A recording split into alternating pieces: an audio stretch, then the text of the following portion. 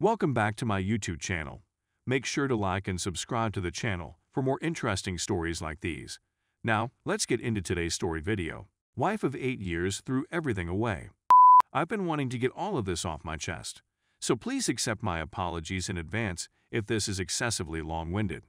I, 30 male, married my high school sweetheart, 33 female, whom I met when I was 14 and she was 17 years old. I'm not going to lie, it felt great to be dating an upperclassman in high school. She had a vehicle, and we would often skip lunch or school to go play. It didn't last long. She and I graduated high school the same year. I skipped a couple of classes, and were headed to different institutions. She concluded it by stating she went to prom with another man, which I didn't like and broke up with her, but it turned out to be a lie. But it didn't matter since we both saw our lives heading in opposite ways. In a few years, I would have been 18 and she would have been 21. We ran into one other at a concert, and I instantly ended my relationship with Miso that night in order to get back together with her. She claimed to have done the same, which isn't entirely accurate. She did, however, break up with him a few weeks after we resumed having. A year later, we had our first kid together. We were both suffering financially, but generally, we were extremely pleased. Our second kid was born five years later, and we had some troubles, but were very much in love throughout that time. I am certain that the children are mine.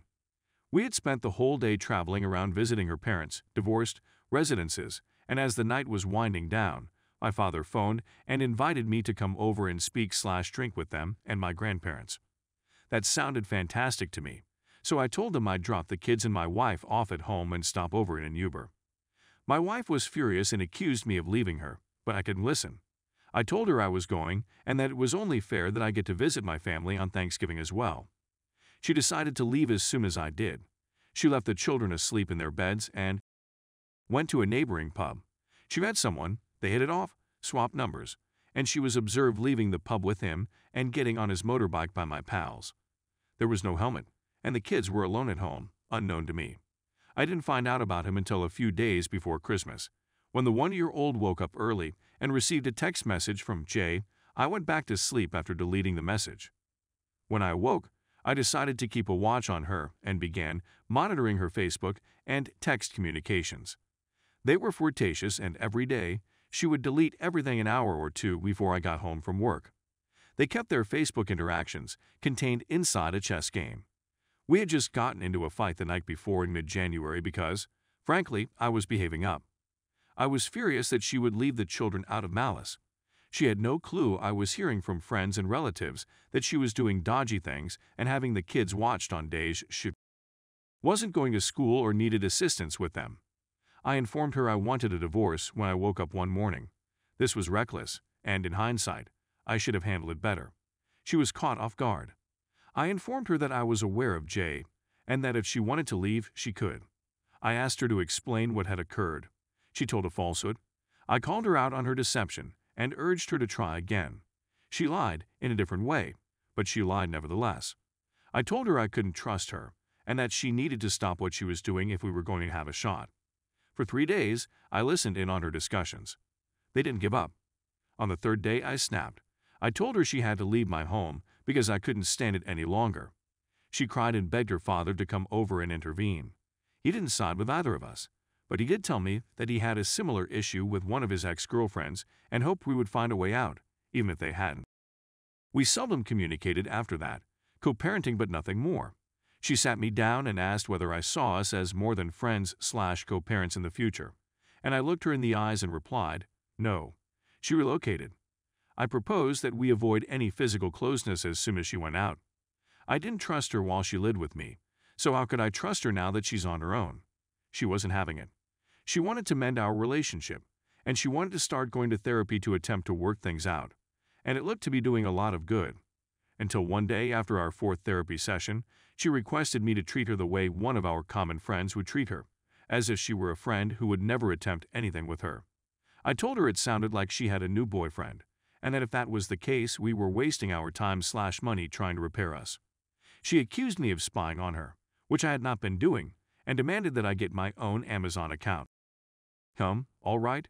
So, screw it, I logged into the account and listened to the recorded voice commands to our Amazon devices. The night before therapy, she had been in her bedroom with another guy, requesting Alexa to play music. My stomach clenched.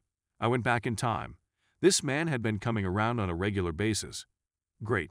Naturally, as she moved out, she quickly began seeing this other man, exposing herself and me to herpes. She says she slept with this guy the day they met, that he informed her about catching it himself during a experimenting period, and that she told him she didn't like condoms, so they were out of the question. I'd had my evidence for weeks and weeks. I approached her, but without presenting any of the evidence I had uncovered. She acknowledged to the affair and lied about every detail, and I was well aware of it. She then informed me of the herpes, and I was tested for STD. Fortunately, I escaped with my life. She began criticizing his character, claiming that he was anti-BLM, didn't believe in dinosaurs, misled her, and so on. Even now that everything is out in the open, she continues to lie to me on a daily basis, sometimes about trivial matters. She is now attempting to manipulate me with her melancholy, making me concerned about her and her mental state. She wants things to be the same as they were, of course she does, but it's not going to happen. She may behave in ways that make her unsuitable for marriage, but she is still the mother of my children. She knows she can twist my arm with a few tears and raise her wounds. I've submitted all I needed to with the lawyer, and I'm hoping this divorce goes well. What should I do if I want to move on with my life but don't know where to begin? Some OP reply in this post. Could you somehow see telling her you want a divorce is rash when her entire history is a disaster? She was mad at you for seeing your family on Thanksgiving, so she abandoned her kids alone to find a random in a bar. Please, be the stability your kids need in life. She's a walking disaster. She probably has always been a disaster. And counseling with her and get it alone for yourself. Put up an emotional wall where you no longer communicate about anything but divorce and children. Suggest even taking it to text or a parenting app. You need as much distance from her as possible, and you need to be the reliable parent that your kids need. You can't help her. She's broken. She can only help herself. And she won't even attempt with you in her life. That's been proven at this point. So focus on you and your healing and getting to a place of happiness for your children. Your wife is broke and you can't fix her. So fix yourself and help your kids heal in the process. Op. She has been a disaster for as long as I've known her, but she was my disaster, and she made me her world for a while. It was flattering and comforting. Really, it was codependency, but I was young and stupid. Depending on who you ask. I still am. I'm going to IC and working on my own issues. Now, nobody is perfect, and basically everyone could use therapy in my opinion. The kids are my focus, everything else is just background noise. Next Coman, so sad. Some people live in an alternate universe. Your ex is one of those people. Op, this is accurate. She has since told me she expected to move out for six months, then move back in. Wow, I'm a mom's boy. My mother is an awesome person, and I love my relationship with her. I don't want to take that opportunity from my boys with their mom, but as this has gone on, I'm more and more reluctant to have them spend time with her. I do not vilify her to them, but I don't lie and make her out to seem like she's great and awesome.